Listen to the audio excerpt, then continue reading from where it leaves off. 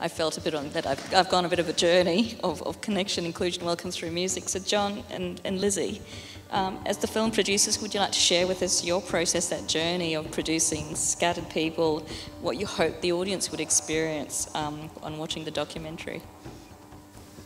Thank you, Christine.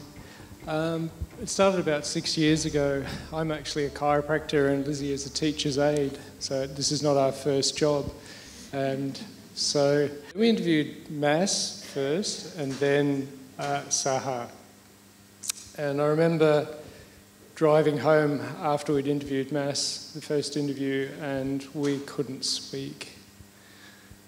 We'd look at each other every now and then. Lizzie was in tears, and we, with the information he gave us, we decided we had to help. We had to do something to to change what was going on because we were aware of the rhetoric was coming out from the from the newspapers and on the televisions, and uh, it wasn't what we were seeing with these with these people who were in front of us. And the same with with Sahar again. And uh, what we envisaged was going to be a two or three minute promotion for his album turned into a one hour documentary.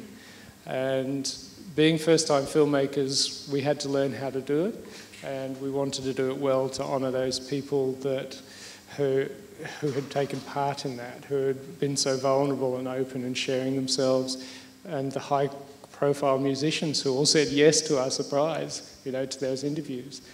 What we'd like people to take away from it is we just wanted people to be able to connect to Sahar and Mas's hearts and really feel who they were, their journey, the journey they had, where they came from, and what was in front of them.